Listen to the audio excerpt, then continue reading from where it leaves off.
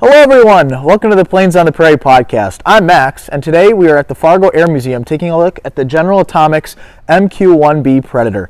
Um, this is a UAV or unmanned aerial vehicle that was used by the Fargo Air Nation- or the North Dakota Air National Guard from 2007 up until 2013. Uh, today we're going to be taking you around this UAV that we have here at the Fargo Air Museum. Uh, we're going to be talking about its service history with both the Air Force and the Air National Guard. Um, also a little bit about its combat history um, from its inception in the 1990s up until uh, its retirement in two, uh, 2018. Um, so stick around, we have a really good episode for you. So the MQ-1 has a wingspan of 55 feet and it had two hard points on each wing. The most common weapon that was mounted on each hardpoint was an AGM-114 Hellfire air-to-ground missile. Uh, these missiles were used to track enemy vehicles, tanks, well, maybe not so much tanks, but mostly vehicles that were driving in the desert. Um, next, we're going to take you to the back and uh, go through the engine.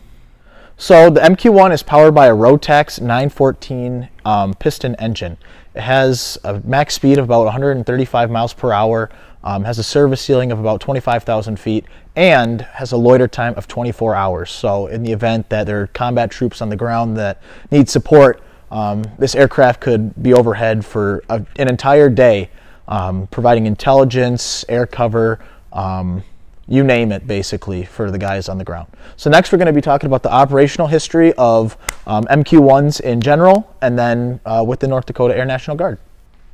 So the MQ-1Bs entered service with the United States Air Force in the mid to late 1990s. Uh, one of the first combat deployments they had was to the Balkans during the Balkan conflicts in the late 1990s. Um, this particular aircraft, the exact history from it is unknown. Um, it's a B model, so it was uh, later production. Um, this tail code that you have on the back is actually incorrect. This was a 08 model.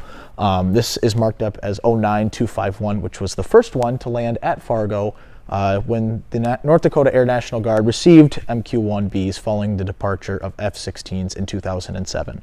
Um, the North Dakota Air National Guard flew this or this type of aircraft um, up until 2018 when all MQ-1s were retired and they were replaced by the MQ-9 drones. Um, they are still flying the MQ-9s today and uh, they're more involved now than they ever have been um, in the past. Uh, so yeah, uh, thank you guys very much for tuning into this video. Uh, we appreciate your guys' support. Um, if you are interested, we still have stickers available. Uh, please message either Sam or I, and we'll be happy to get you acquainted with one. But uh, thank you guys so much for tuning into this one. We really appreciate it. And yeah, have a great rest of your day.